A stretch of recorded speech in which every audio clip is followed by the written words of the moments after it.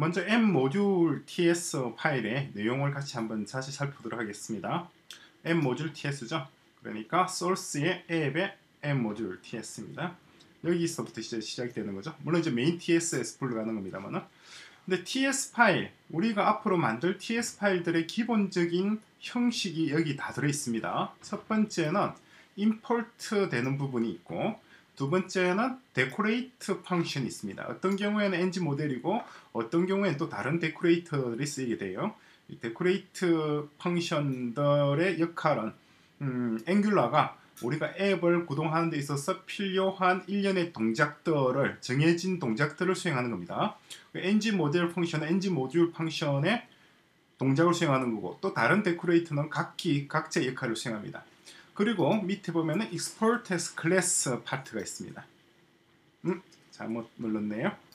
export class 파트가 있는데 어, 지금은 여기에 아무것도 안 들어있습니다. 근데 형식은 export class class m 모듈이잖아요. 그런데 파일 이름은 어떻게 되어 있죠? app.module입니다.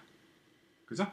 app.module. 그 파일 이름은 app.module이 클래스 이름은 이렇게 어, 클래스 이름은 대문자로 시작하죠. app 그리고 두 번째 단어도 대문자로 시작해서 m App Module 이런 식으로 표현이 됩니다. 같은 표현 방식이라는 거 잘 받으시기 바랍니다. 어쨌거나 세 가지 형태입니다. 첫 번째 어, 세 가지 요소입니다. import 부분, 다음에 decorate function, 다음에 클래스 하나. 그죠? 근데 이, 지금 우리가 살펴볼 것은 ng 모델 펑션이에요. ng 모델 펑션에 보니까 argument로 주어진 것이 하나의 object죠. 그 object에 보니까 declarations 키에 뭐가 하나 있고 import 키에 뭐가 있고 provide에 지금 아무것도 안 들어있네요. 어쨌거나 bootstrap도 있고 한데 전부 다 뭐예요? 다 리스트, array입니다. 그죠?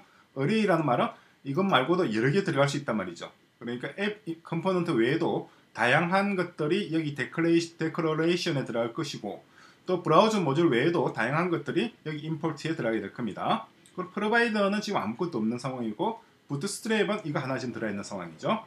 이렇게 기본적으로 ng 모듈이라고 하는 function에 들어간 argument들입니다. 이 declara, declaration에 들어가는 건 뭐냐니까 앞으로 우리가 만들 Angular 우리가 만드는 거예요. 앞으로 우리가 할 작업입니다. 어, 프로그래머들이 만들어 작성하는 component들을 선언하는 곳이에요. 여기다 다 모아두게 됩니다. 지금은 당장은 앱 component밖에 안 보이는데 앞으로 우리가 많은 component를 만들어 나가게 될 겁니다.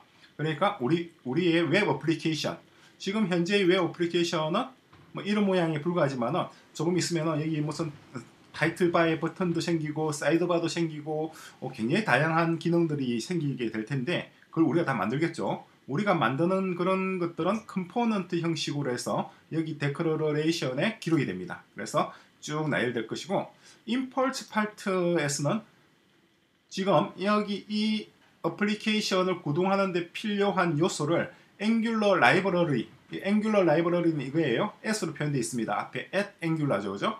여기서 가져오는 거예요. 가져오는 것이 브라우저 모듈이라는 걸 가져왔고 그리고 ng 모듈이라는 걸 가져왔습니다. 두 개를 가져온 것을 여기다 import에 적어 놓는데 ng 모듈은 따로 안 적었어요. 왜냐니까 바로 여기서 ng 모듈을 선언하고 있으니까 그렇죠.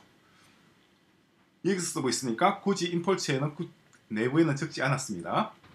그리고 이제 provide라고 하는 게 있는데 이게 무엇인지도 우리가 조금 있다가 어, 점점 이제 공부를 하면서 어, 예, 알게 될 겁니다. 하나씩 하나씩 살펴나갈 텐데 일단 여러분들이 어, 이번 에피소드에서 눈여겨둘 부분은 어, TS 파일, TS 파일들은 거의 예외 없이 이런 형식 import 부분, decorate 부분, 그리고 클래스 선언 부분 이렇게 세 가지 형식으로 구성된다 라는 것을 알아두시고 그리고 엔진 모듈 엔진 모듈 function의 argument로 주어진 것 아규먼트로 주어진 오브젝트죠. 오브젝트는 키 밸류 키 밸류 키 밸류인데 키의 밸류로서 리스트들이 이렇게 하나 두개세 개네 개가 선언되어 있다는 거고 그리고 각 key의 역할 이 declaration에서는 앞으로 우리가 작성할 component들을 여기다 등록할 거고 그리고 import는 어, Angular에서 가져오는 거예요. 가져온 것을 적어놓고 그리고 어, 이 두 개는 찾아보고 이것이 이제 ng 모듈